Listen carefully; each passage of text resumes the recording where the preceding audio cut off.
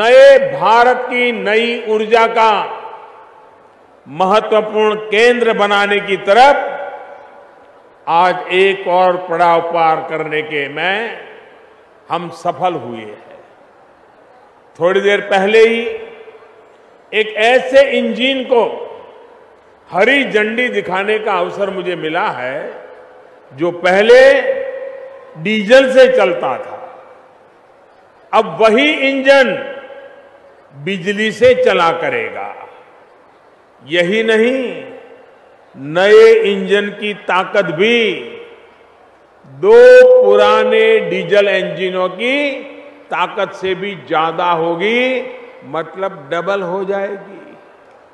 और ये काम डीएलडब्ल्यू में पहली बार हुआ है और भारत ही नहीं, पूरी दुनिया में भी ऐसा प्रयोग पहले कभी नहीं हुआ है।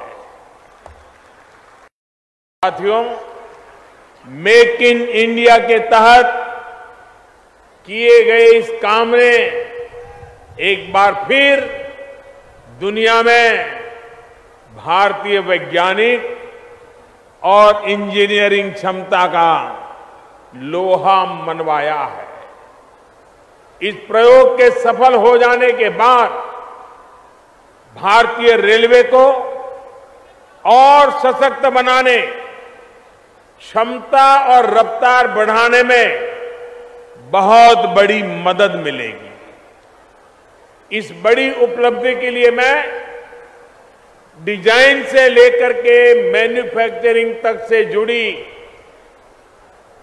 हर व्यक्ति पूरी टीम के सभी लोगों को बहुत बहुत बधाई देता हूँ।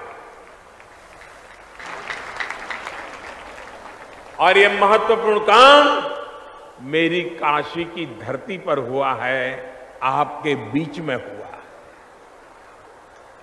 साथियों, भारतीय रेल की सूरत और सीरत बदलने वाले अनेक कदम बीते साढ़े चार वर्ष में उठाए गए।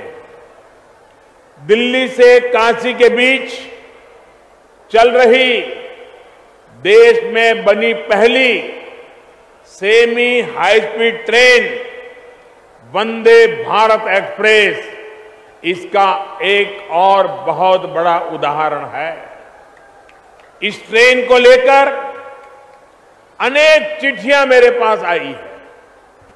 देश के लोगों में एक उत्साह है, गौरव का भाव है कि इतने दशकों बाद ही सही भारत को एक विश्व स्तरीय ट्रेन मिली है। Subscribe our channel and press the bell icon for more updates